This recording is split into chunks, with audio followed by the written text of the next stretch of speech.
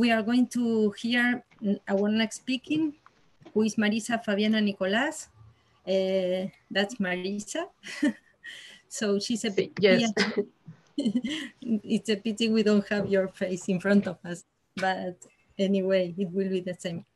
She's a PhD in genetics and postdoctorate in Embrapa, Brazil. I, I look for these uh, letters at the National Laboratory of Scientific Computation in Embrapa, Brazil.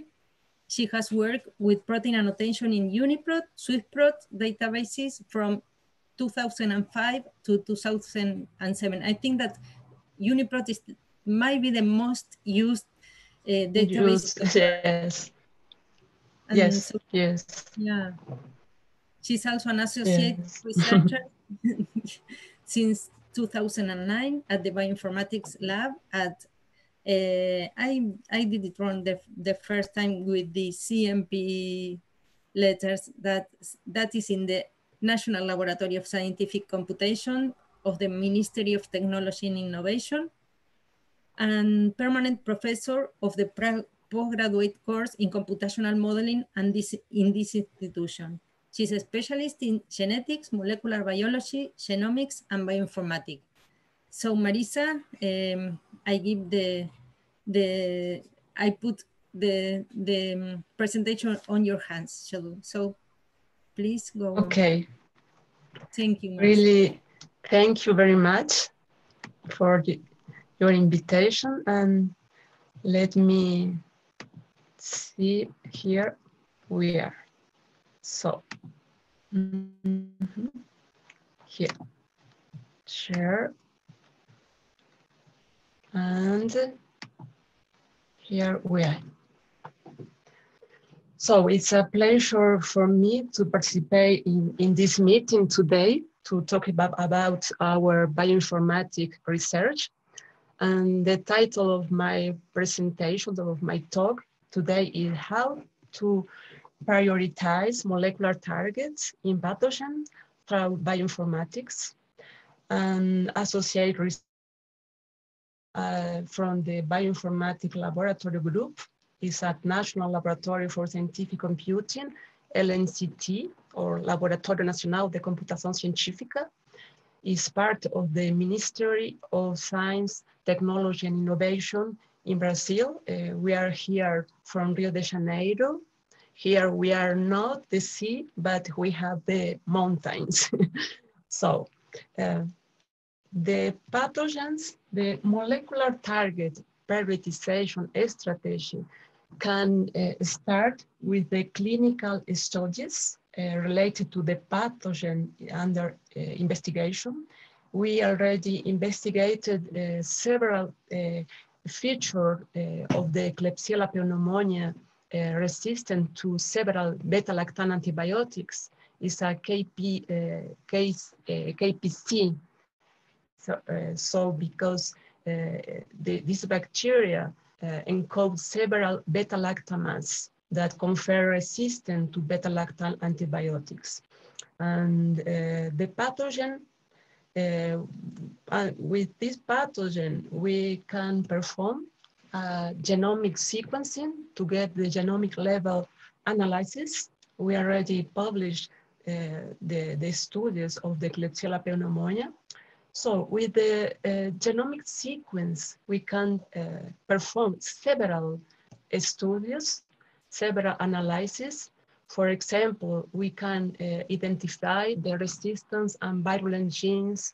We perform the genetic, uh, the genomic rearrangement. We can find the regional genomic plasticity and identify sites and mobile elements, and also the island of pathogenicity and the more deep analysis with the perform the single nucleotide polymorphism, the SNPs. So uh, also with the genome sequence, we can get uh, more uh, sophisticated or more uh, fine uh, analysis uh, to, in order to reconstruct the biologic network. For example, here uh, we, we see the, the left, the metabolic network, and there are in the right, the transcriptional regulatory network. So uh, we can uh, perform the inference of metabolic pathway. We can identify an important uh, parameter that is a choke point. And uh, with the inference or regulatory interaction, we can merge uh, both uh, biological network in order to get a more realistic model. So also with the genome sequence or uh, we can uh, add uh, additional analysis if, for example, the RNA sequence, we can uh, grow the bacteria under abiotic and uh, biotic stresses. For example, the KPC bacteria are resistant to uh, many beta-lactam antibiotics, but we can use the polymyxid B uh, as a last resource for this for uh, treat the this pathogen. Uh, so we, if we, we can perform an RNA-seq under this condition, we can check the differentially expressed genes, the DGE, the transcriptional regulatory network, the TRN, and also perform, for example, models of co-expression. But uh, we can also uh, perform an structural drugability of the proteome. If we can uh, get all these uh, analyses, so then we can merge and integrate all this uh, data in order to get the target prioritization. For example, we check the overexpresses genes and idle conditions. Uh, we check the, if the enzyme is choke point or uh, the, the enzyme has high centrality or belong, for example, to a regulon resistant and transcription regulator. And it's important in, in this uh, uh, step, it's important to check the uh, off-target criteria. For example, it's mandatory that the protein, that there are no homolog in humans or no uh, homolog in order in other uh, human commensal bacteria. And also it's important to check that the protein is conserved in the taxonomic group under study. For example, in, in our case was the Klebsiella pneumonia. So uh, I can uh, show you the metabolic network data. This is a metabolic uh, network uh, reconstruction. Yeah, uh, the bacteria the, we call the KP13 because the isolate was a 13. Uh, so the Klebsiella metabolic, uh, the Klebsiella pneumonia 13 metabolic network reconstruction is here. And the KP13MN was, uh, this network was modeled as directed reaction graph. Uh, in, in this graph, it's important to, to mention that, the, that uh, there, there is an edge between two nodes if the product of one reaction is used as a substrate in the next reaction. We get a total for Klebsiella pneumonia uh, KP13, we get a total of uh, almost 2,000 uh, reactions that compose the, the metabolic network of this pathogen with mm, almost 2,000 enzymes BN enzyme, catalyzing, catalyzed and forming part of the uh, 321 predicted metabolic pathway is a, a significant data. So uh, we can uh, uh get uh, uh, two parameters that are important between uh, because uh, we can use uh, these parameters to to rank the most important protein under the metabolic network. But for that, for for, for example, inhibitors against the, the enzymes. the first, the representation of a graph, uh, the, the network as a graph, the, graph is uh, a static metabolic network, uh, allows the topological study of the network in the framework of graph theory. So the first parameter is the betweenness centrality, uh, and we were calculated there to rank the importances of the reaction within the network.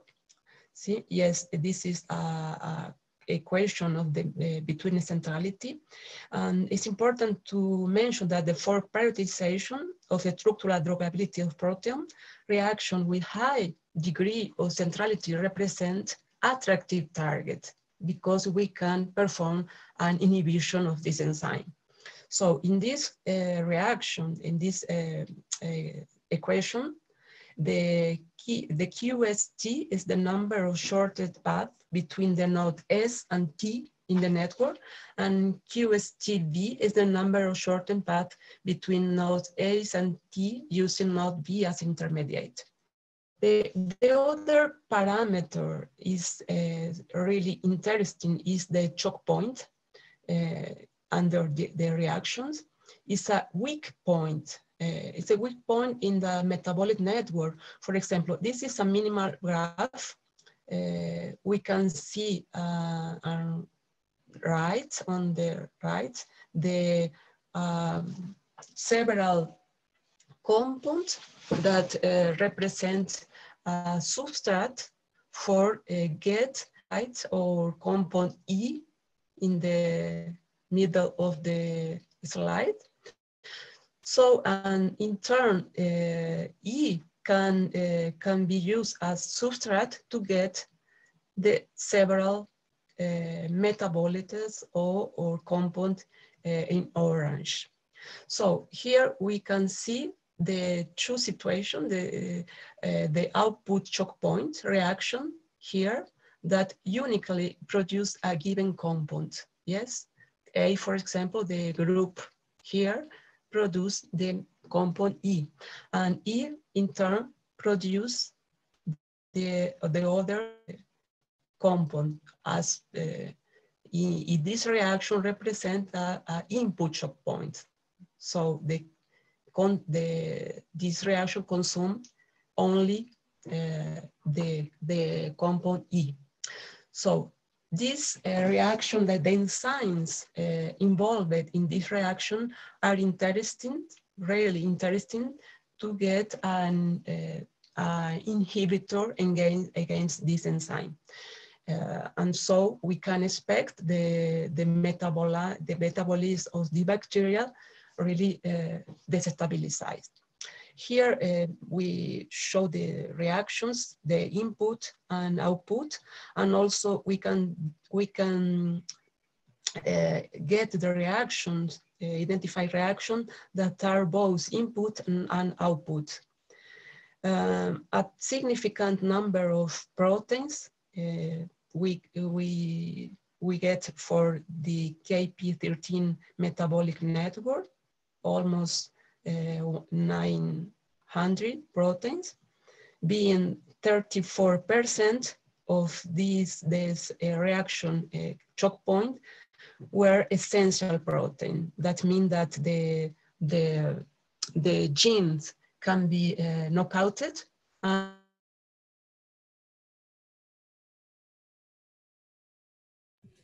Sorry, we lost Marisa.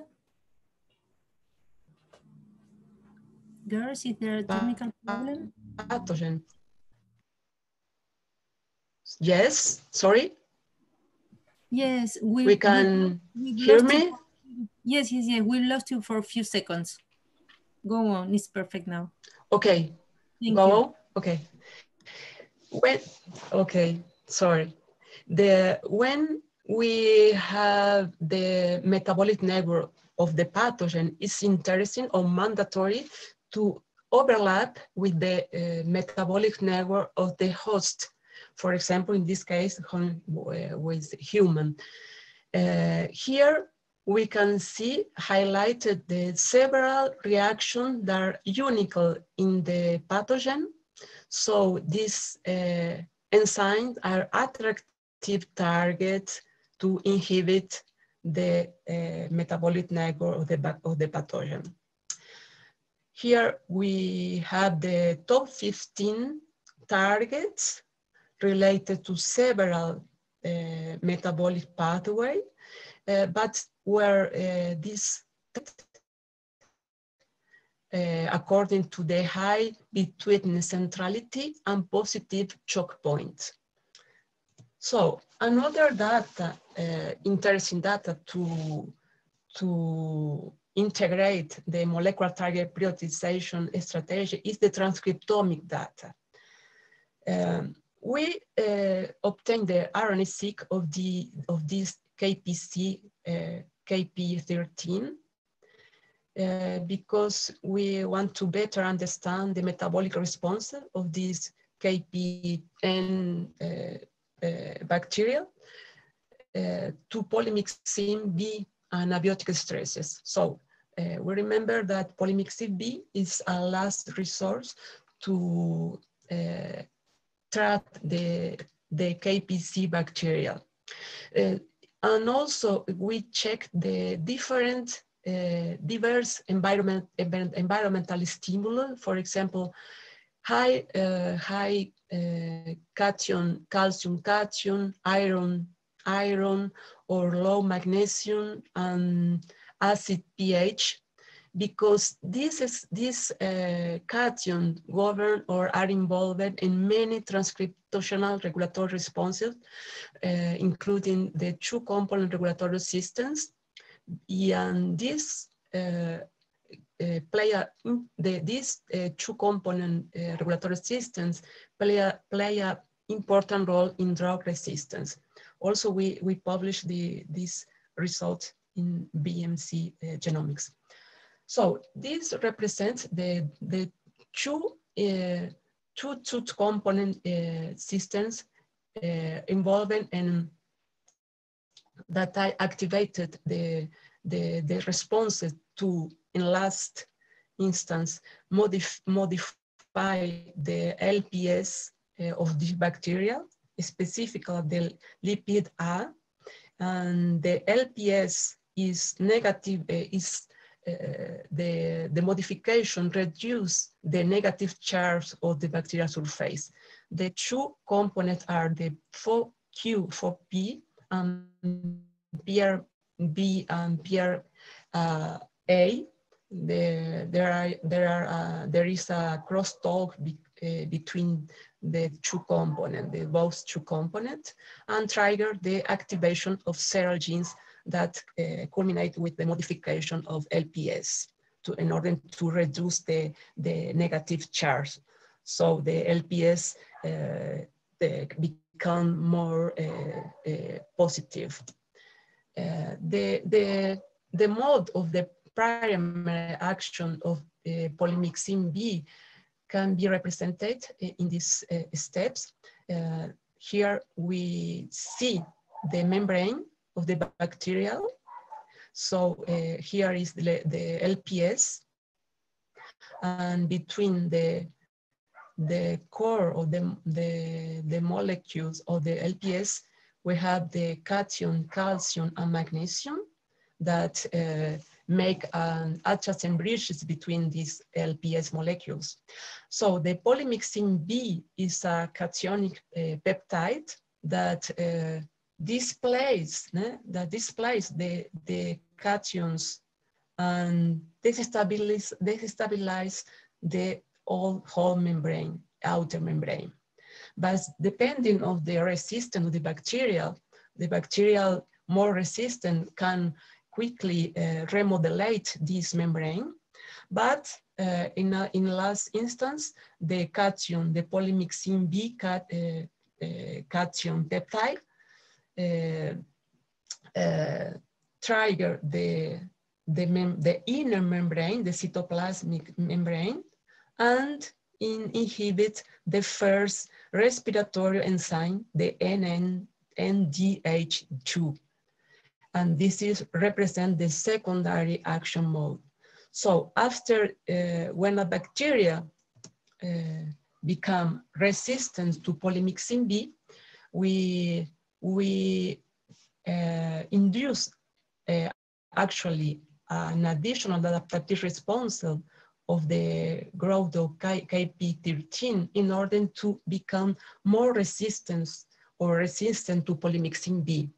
And we uh, provide um, different conditional experimental condition uh, under polymyxin B or polymyxin B plus uh, high calcium, no magnesium, magnesium, high iron or low pH, because these uh, conditions trigger the two component systems. So here we can see a circus diagram here representing the differential gene expresses under uh, the several uh, static condition, the pH, for example, no-induced uh, magnesium, and also here we can see the Mercier condition and check the fold chain and FDR uh, probability. So we can show, we can see the several uh, genes that are uh, that are that are uh, differential expressed in compare in when compared with the polymyxin B. And uh, for example, in interrogation, uh, signal represents the hypothetical protein that or that interesting to to perform further analysis. So uh, the question was, what can, what could be the effect of the NDH2 inhibition on cellular energy metabolites? metabolites? So we check the, the possible shift to fermentative metabolism after, after exposure, exposure to uh, uh, polymyxin B. So it's important to mention that the sample for RNA-seq uh, structure after five hours of growth. And we can show, we can see that the in, at this time, our bacteria was really uh, more stressed under the pH acid com when compared the no induced uh, uh, condition. So uh, we look at look at about for fermentative pathway. Here we we can see the the metabolic pathway involved in the production of butane, butane 2,3-diol or acetate or ethanol or lactate. So the in green represents uh, all genes overexpressed under the, the condition with polymyxin B plus biotic stimulus. So this is interesting to, to see. And also this metabolic uh, pathway was interesting because this is represent the metabolism, the metabolism of glycerol of uh, Klebsiella pneumonia under depression, also under depression of uh, polymyxin B. So all the genes involved in this uh, pathway were uh, repressed. But when uh, uh, addition this the abiotic stimuli, stimuli hold the, the whole stimulus, the high calcium, high iron, or low magnesium, or low pH, were activated. And this converged to the production of 1,3-propanediol. That is an interesting pathway. So we also investigated the two component, whole the two component system possibly involved in the response to resistance to polymyxin B in these gram-negative bacteria. Uh, it's interesting to, to see that the, the 4P, 4P, 4Q was also was, uh, uh, the system was activated under all this uh, abiotic stimulus in compare, when compared with the polymyxin B alone. And in opposite, the system ARC-B, ARC-A was totally repressed under the abiotic stimulus, where we are currently uh, investigated uh, the, this these genes, these two component system gene. So here uh, we have the representation of the bacteria uh, oh, split sorry, in two parts. The left, yes. Sorry, Marisa, you have one minute left or two, please. Okay. Sorry, thank okay. you. Uh, so this is result of the transcript or the summary of transcriptomic responses. For, for finally, target prioritization in Klebsiella pneumoniae. Uh, we here we we have the pipeline, the whole pipeline uh, that merged in the that was in all data were integrated in target pathogen that uh, uh, came from the for example, the structural drugability, the essentiality analysis, the conservation analysis, or the off-target. The off-target was filtered, and the, the data came from the metabolic context. All data were integrated into the target pathogen platform in order to get the candidate drug target. Uh, for when for in, uh, who are interested in this work, here is the the the paper that we are show the whole uh, data. So the we perform the score for for rank the the the the proteins. We perform three uh, score the first one represents the Ung and define the essentiality, conservation, and metabolic context criteria. The two and three uh, equation represent the addition of polymix gene that overexpressed under polymyxin B or gene that no, have no uh, representation in gut microbiome.